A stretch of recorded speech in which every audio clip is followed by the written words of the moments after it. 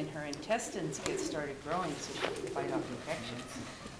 So when baby horses eat poop, it's not just because they're being gross, it's because they, the nature says I have to eat some of this to make my body work right.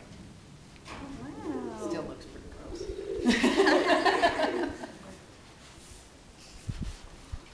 Is that you? Oh, no, she's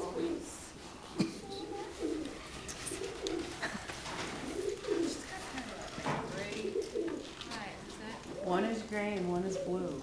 And this one I'm not, her father had amber colored eyes. Her father, I bred her to a stallion that's called a Cremello. He was a very, very, very, very pale yellow.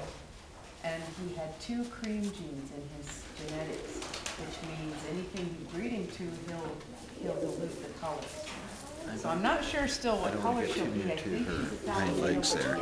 But Not that she's she's light, but, you know, they're known to, that's, that's why her eye is a different color, because she's got, she's carrying some of those genetics.